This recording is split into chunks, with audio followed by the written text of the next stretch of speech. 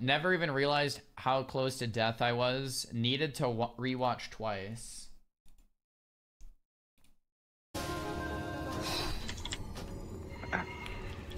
Beautiful. Oh, Sorry, there's a BG right. he's listening to my stream, so I'm going to uh, mute my myself.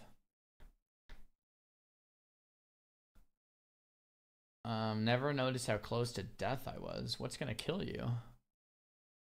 There's no mobs. Do you fall? Oh, maybe you fall. Oh shit, maybe you fall. Oh, the priest needs help. Priest needs help. Priest needs help. Turn around. Priest is getting hit. Turn around.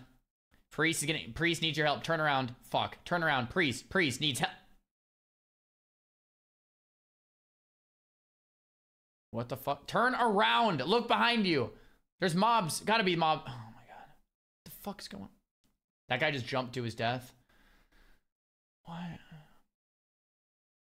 Okay, her. Oh no, he didn't jump. Drek died upstairs. You're hearthing back up. What are we watching? Turn around. Okay, we're good. I don't. I mean, you never really got that close to dying, did you? Was there mobs? Maybe there was mobs right behind him. I don't know what I just watched. I literally don't know what I just watched here.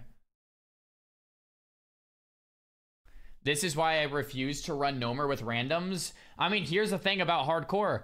You're always going to be playing dungeon. Well, okay, not always. A lot of the times you're going to be playing dungeons with randoms, and that's what makes it so scary. That's why when you see a YouTube video that's like Gnomer gone hardcore, like that's why it's scary.